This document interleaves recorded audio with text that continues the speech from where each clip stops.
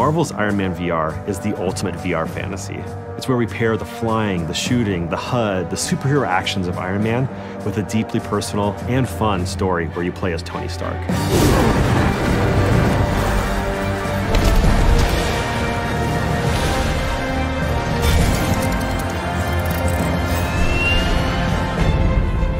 You know, VR is kind of the Wild West of gaming right now. And VR is the only real experience that gives you the sense that you are Tony Stark flying in this high tech, sleek, fast suit.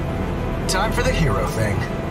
In our game, you throw your arms around, you lift your hands up when you shoot your repulsors, you actually physically punch when you punch a bad guy. Everything you do in the game, you do with your own body.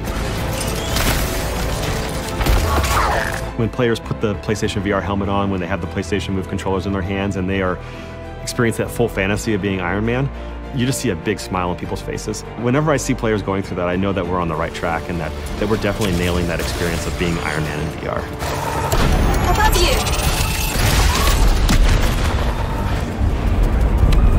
Wanted players to be able to explore Stark Mansion, uh, explore Stark Tower, but also interact with iconic characters. It's a very special moment the first time you're in VR and you're looking face to face with Pepper or face to face with Nick Fury, and you feel like you're there standing on the bridge of the helicarrier. Imagine the possibilities.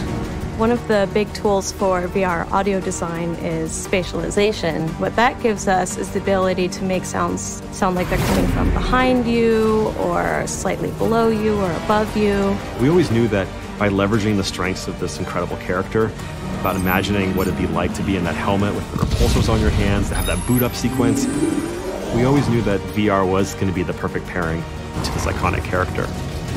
So the number one thing that, that I personally hope for when people play Iron Man VR, that they feel like Iron Man. It, it is the most immersive Iron Man fantasy that I've experienced, and, and that's what I really want people to walk away from.